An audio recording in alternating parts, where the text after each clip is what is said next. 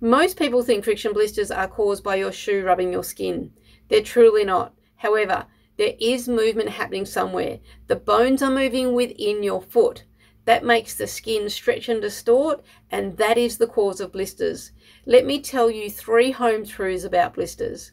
Hello, I'm Rebecca Rushton, a podiatrist who specialises in friction blisters and author of two peer reviewed papers in 2024, rewriting the blister script from what really causes them to treatment, prevention, and all the bits in between. Blisters are a tear under the skin surface, not a superficial to deep wear injury, so it's not just about stopping things from rubbing the skin.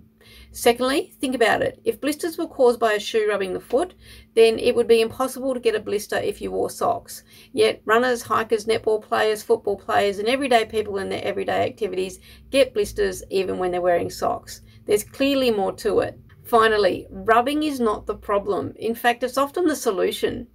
You want to make it slippery where you're prone to blisters and let that skin move with the bone. That's how you minimize the forces that cause blisters. Vaseline will do this, but there are more sophisticated and longer lasting ways to achieve this.